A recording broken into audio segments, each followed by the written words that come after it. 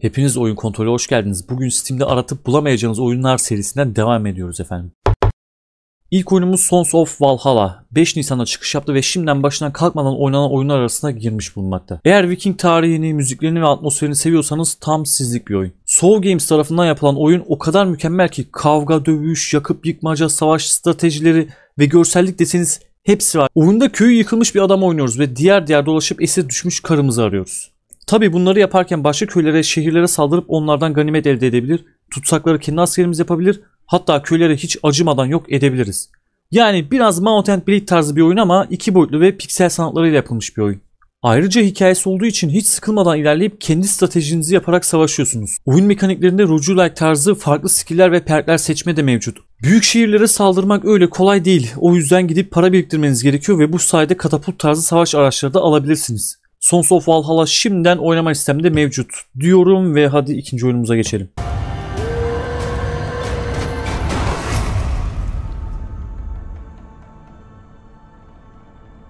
Monsters Domain. Eğer Skyrim ve VR tarzı oyunları seviyorsanız tam sizlik bir oyun. Sakın korkmayın çünkü oyun VR ile oynanmıyor. Ama FPS modu o kadar çok iyi yapılmış ki VR hissi veriyor. Yine 5 Nisan'da çıkış yapan G-Devs'in yaptığı oyunumuzda köy inşa edip kendinize iskelet ordusu topluyorsunuz. Hikaye modu yanı sıra online giren oyunda başkalarının köylerine saldırıp eşyalarını dızladığınız bir oyun. Okçuluk, büyücülük, mahalle kavgası gibi mekanikleri olan oyunda craft olmasaydı belki istek listemde olurdu diyorum ve sözü çok fazla uzatmadan 3. oyunumuza geçelim.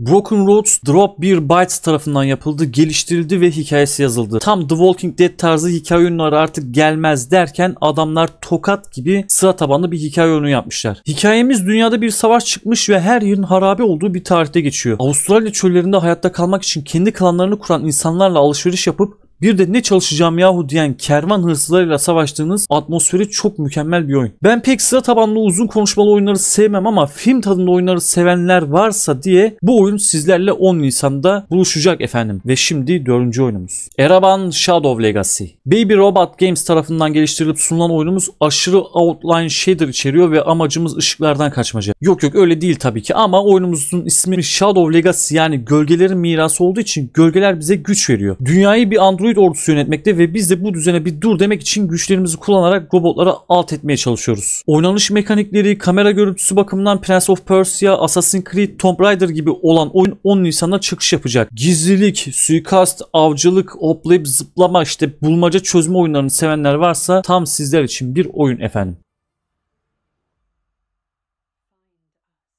Ve gelelim son oyunumuza. Harold Halibut. Halibut artık her neyse. Evet bu karakterimizin ismi ve aynı zamanda oyunun da ismi. Slow Bros Studios'un ellerinden çıkan bir oyun. Bakın ellerinden diyorum çünkü bu oyun bilgisayar ile değil el ile yapılmış. Yani mekanları, karakterleri her şeyi adamlar kendi elleriyle yapmış. Gerçekten oyuna baktığım zaman nasıl yapmışlar ya dedirtiyor bana. Oyunumuzun hikayesi uzayda su buldunuz tamam. Bir de okyanus bulup uzay geminizin bu okyanusa batmasını konu alan ilginç bir senaryoya sahip. Harold Hollywood yani ana karakterimiz bu serüvende eve gitmek için bir yol ararken sürekli peki ev gerçekten nedir diyerek kendisine soru sorarak bize çok hoş bir oyun sunuyor. Gerçekten ama gerçekten bir oyun nasıl bu kadar çok gerçekçi olabilir diyeceğiniz oyun şu an Steam'de demo versiyonuyla mevcut. Efendim benlik bu kadar. Buraya kadar izleyip beğendiyseniz abone olup yorum yazmaktan sakın çekinmeyin diyorum ve bir diğer macerada görüşmek dileğiyle. Hoşçakalın.